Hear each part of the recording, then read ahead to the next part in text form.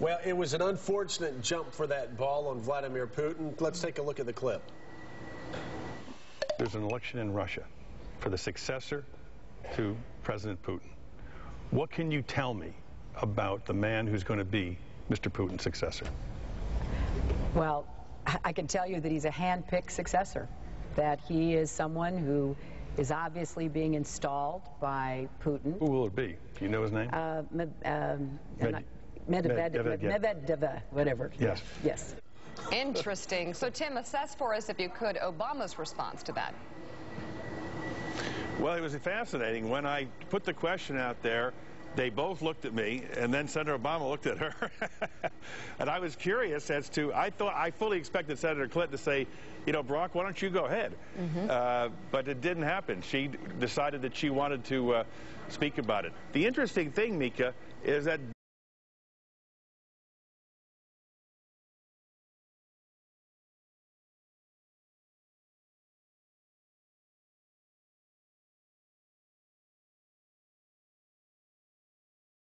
Uh, it's imperative that uh, we begin to have a more realistic and effective strategy uh, toward Russia.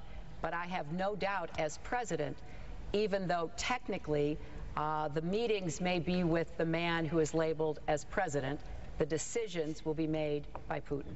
Who will it be? Do you know his name? Uh, Med, um, Med- Medvedev, Medvedev. Medvedev, whatever. Yes. Yes. Senator Obama, you know anything about him? Well, the, uh, I think Senator Clinton uh, uh, speaks accurately about him.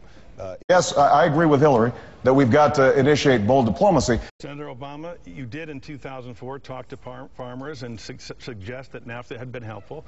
The Associated Press today ran a story about NAFTA saying that you you have been consistently ambivalent towards the issue. Simple question. Will you, as president, say to Canada and Mexico, this has not worked for us, we are out? I will make sure that we re- renegotiate in the same way that Senator Clinton talked about. And I think actually Senator Clinton's answer on this one is right. I think we should You, you had said in a previous CNN debate that you would meet with the leaders of Cuba, Iran, North Korea, among others. So presumably you would be willing to meet with the new leader of Cuba. That's correct. Uh, uh, now, keep in mind that the starting point for our policy in, in Cuba should be the liberty of the Cuban people. And I think we recognize that that liberty has not existed uh, throughout the Castro regime.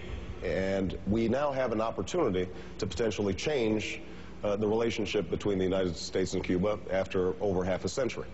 Uh, I would meet uh, without preconditions, although Senator Clinton is right that there has to be preparation.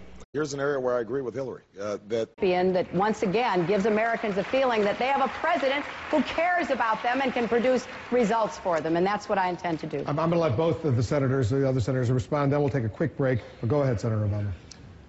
Well, H- Hillary's right.